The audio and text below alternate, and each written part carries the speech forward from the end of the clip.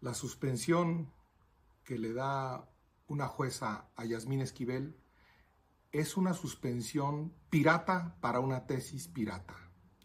No se puede suspender algo por lo que todavía no hay un daño, un acto reclamado, una resolución definitiva de la UNAM. ¿Qué arreglijos se están haciendo? ¿Qué vergüenza se está cocinando?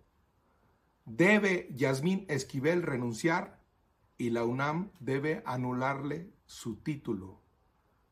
Está en juego el profesionalismo y la independencia del Poder Judicial y la verticalidad y decencia de la Universidad Nacional. Yo me quedo con unas palabras de José Vasconcelos ante este asunto. Yo estoy abrumado de qué hacer, pero he descubierto el secreto de no sentir el cansancio.